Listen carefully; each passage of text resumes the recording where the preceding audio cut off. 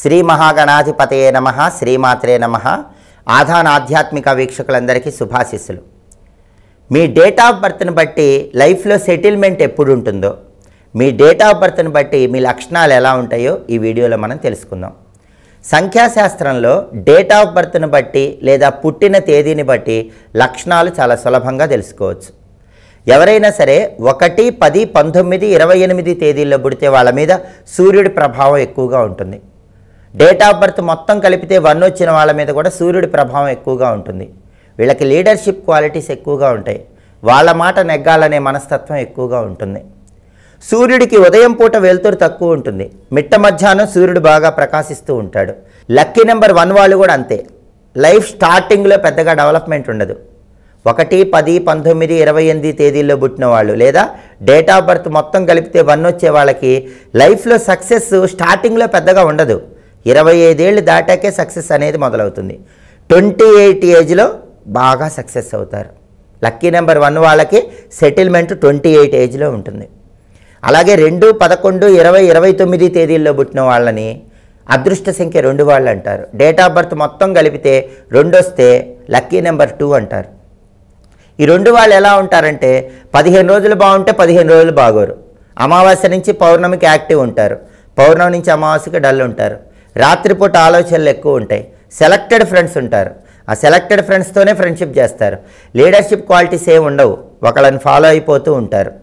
ఈ lucky number two వాళ్ళు twenty three ఏజ్లో సెటిల్ అవుతారు. ట్వంటీ త్రీ వచ్చేసరికి మంచి సెటిల్మెంట్ వస్తుంది.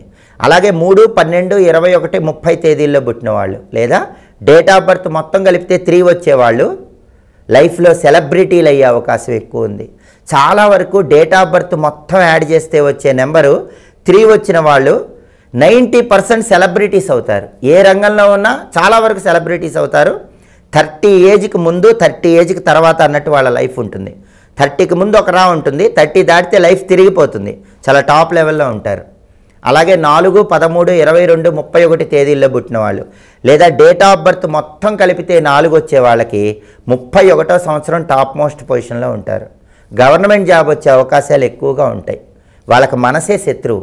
లక్కీ నెంబర్ ఫోర్ వాళ్ళకి శత్రువు ఎక్కడ ఉండరు వాళ్ళ మనసే శత్రువు. రకరకాలుగా ఆలోచిస్తూ ఉంటారు. ఫ్లక్చుయేటింగ్ థాట్స్ ఎక్కువ ఉంటాయి. అయితే పక్కవాడికి ఎక్కువ ఉపయోగపడుతూ ఉంటారు. అందుకే మీరు ఎవరైనా ఫ్రెండ్స్తో ఉండాలనుకున్న వాళ్ళు లక్కీ నెంబర్ ఫోర్ వాళ్ళతో ఫ్రెండ్షిప్ చేయండి. మీ చుట్టుపక్కల ఫోర్ వాళ్ళని పెట్టుకుంటే మీకు బాగా అదృష్టం కలిసి వస్తుంది. ఎందుకంటే వాళ్ళ జాతకం ఎప్పుడు పక్క వాళ్ళకు ఉపయోగపడే జాతకం అవుతుంది. అలాగే ఐదు పద్నాలుగు ఇరవై మూడు తేదీల్లో పుట్టిన వాళ్ళని లక్కీ నెంబర్ ఫైవ్ వాళ్ళు అంటారు అలాగే డేట్ ఆఫ్ బర్త్ మొత్తం కలిపితే ఐదు వచ్చే వాళ్ళని కూడా లక్కీ నెంబర్ ఫైవ్ వాళ్ళు అంటారు. ఈ లక్కీ నెంబర్ ఫైవ్ వాళ్ళు ఎలా ఉంటారంటే బయటికి మాట్లాడేది ఒకటి ఉంటుంది లోపల ఇంకోటి ఉంటుంది. అందరితో మామూలుగా ఉన్నా లోన్లీగా ఉండటానికే ఎక్కువ ఇష్టపడుతూ ఉంటారు. చిక్కడు దొరకడు అని చెప్తారు.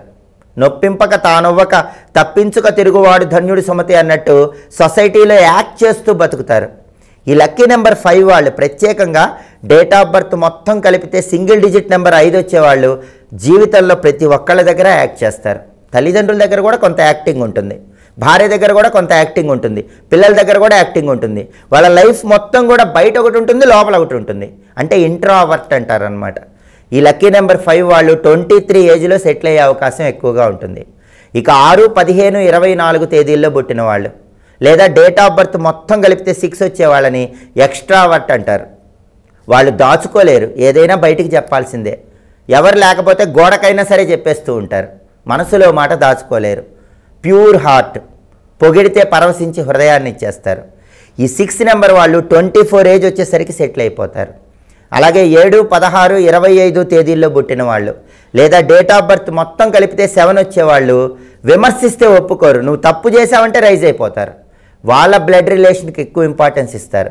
అందుకే పెళ్ళిళ్ళు చేసుకునేటప్పుడు జాగ్రత్తగా చూసుకోండి. ఎవరైనా సరే డేట్ ఆఫ్ బర్త్ మొత్తం యాడ్ చేస్తే సెవెన్ వచ్చిందనుకోండి పెళ్ళైనా సరే పార్ట్నర్కి ఇంపార్టెన్స్ ఇవ్వరు. వాళ్ళ పేరెంట్స్కే ఎక్కువ ఇంపార్టెన్స్ ఇస్తారు. ఫస్ట్ పేరెంట్స్ తర్వాతే లైఫ్ పార్ట్నర్ కాబట్టి డేట్ ఆఫ్ బర్త్ మొత్తం యాడ్ చేసినప్పుడు సెవెన్ వచ్చిందంటే మాత్రం ఖచ్చితంగా పార్ట్నర్ అడ్జస్ట్ అయిపోవాలి. ఫస్ట్ ప్రయారిటీ వాళ్ళ పేరెంట్స్కే ఇస్తారు. వీళ్ళు ఇరవై ఐదో సంవత్సరానికి సెటిల్ అయిపోతారు. కానీ అన్నీ తెలిసి అంతా అసంపూర్తి అన్నట్టు ఉంటుంది. ఎందులోనూ కంప్లీట్ సాటిస్ఫాక్షన్ పొందలేరు. వృత్తులు కూడా మార్చే అవకాశం లక్కీ నెంబర్ సెవెన్ వాళ్ళకి ఎక్కువ ఉంటుంది. ఇక ఎనిమిది పదిహేడు ఇరవై ఆరు తేదీల్లో పుట్టిన వాళ్ళు total date of birth add చేస్తే ఎయిట్ వచ్చేవాళ్ళు పక్క వాళ్ళు పొగిడితే కొండ మీద కోతినైనా తీసుకొస్తారు. మాట కరుకు మనసు వెన్న శత్రువులు ఎక్కువ ఉంటారు. Research oriented. మన మార్క్ ఏంటో చూపించాలి. మన బ్రాండ్ ఏంటో చూపించాలనే ఫీలింగు లక్కీ నెంబర్ ఎయిట్ వాళ్ళకి చాలా ఎక్కువగా ఉంటుంది. టోటల్ డేట్ ఆఫ్ బర్త్ కలిపితే ఎయిట్ వచ్చిన వాళ్ళు ఖచ్చితంగా ఏదైనా సాధించాలనే తపన ఉంటుంది. ఇరవై ఆరో సంవత్సరానికి సెటిల్ అయ్యే అవకాశం ఎక్కువగా ఉంటుంది. ఇక తొమ్మిది పద్దెనిమిది ఇరవై ఏడు తేదీల్లో పుట్టిన వాళ్ళు డేట్ ఆఫ్ బర్త్ మొత్తం యాడ్ చేస్తే నైన్ వచ్చేవాళ్ళు ముక్కు మీద కోపాన్ని కలిగి ఉంటారు. అంతలోనే కోపం వస్తుంది అంతలోనే తగ్గుతుంది. ఒకళ్ళ కింద ఒబీడియంట్గా ఉండలేరు మాట పడలేరు. అలాంటి లక్షణం ఉంటుంది. వీళ్ళు గవర్నమెంట్ జాబ్ వచ్చే యోగం ఉంటుంది. ఇరవై ఏడో సంవత్సరానికి సెటిల్ అయ్యే అవకాశం ఎక్కువగా ఉంటుందని సంఖ్యాశాస్త్రంలో చెప్పడం జరిగింది. స్వస్తి. ధర్మం మర్మం శాస్త్రం స్తోత్రం ఇలాంటి మరెన్నో విషయాల గురించి తెలుసుకోవడానికి సబ్స్క్రైబ్ చేసుకోండి ఆధాన్ ఆధ్యాత్మిక.